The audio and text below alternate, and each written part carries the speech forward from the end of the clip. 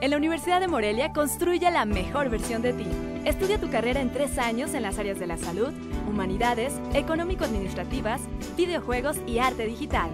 udemorelia.edu.mx, teléfono 317-7771. Luis Torres, alcalde de Buenavista Tomatlán, Michoacán, cumplirá los 15 días de licencia que le concedió su cabildo, pero no ha notificado si continuará o se ausentará definitivamente del cargo. Que el permiso que solicitó el, el, presidente constitucional del municipio de Buenavista efectivamente está por vencerse.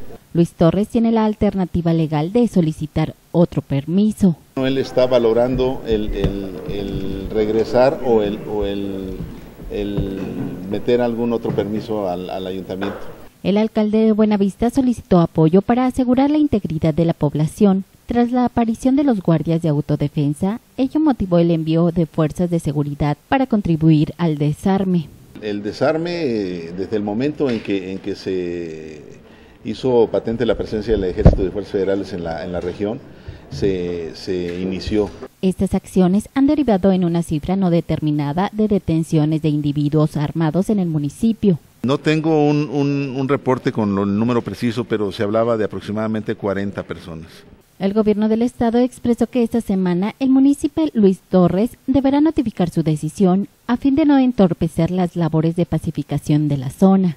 Tiene eh, entre hoy y mañana para presentar nuevamente el documento del presidente Buenavista.